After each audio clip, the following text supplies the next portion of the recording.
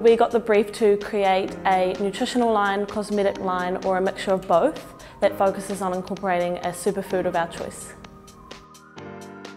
We've created a product line that consists of three products designed to follow the day in the life of a hardworking woman.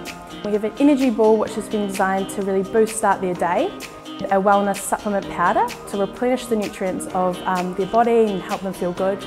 And then we've also created a chocolate which is proven to have lots of sleep benefits. First of all, we started by researching and looking into existing products on the market. We looked at their functionalities, how they worked, and their different attributes.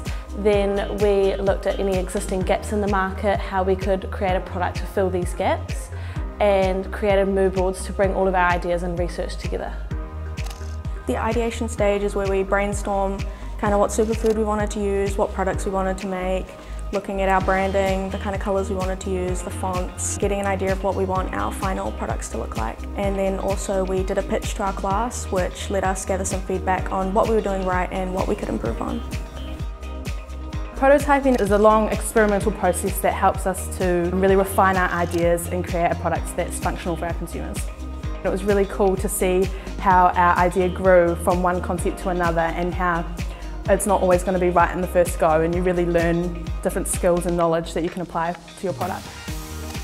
In the final stages of our design process, this is when all of our ideas and our concepts come together and we bring our brand identity, our packaging, our actual products and how they all come together to create a cohesive concept. It's given me hands-on experience working on a project and being able to apply everything that I've learnt over the last couple of years and just really giving me a good feel of the product design process and being able to work through each aspect.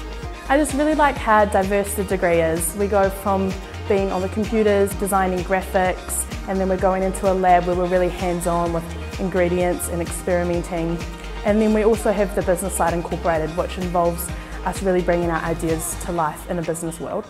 Just learning along the way is the biggest thing I think. You can sit in these lectures and learn so many things, but the thing I love about product design is we're actually getting in there, we're hands-on, we're, we're doing the process and you learn so much by doing that.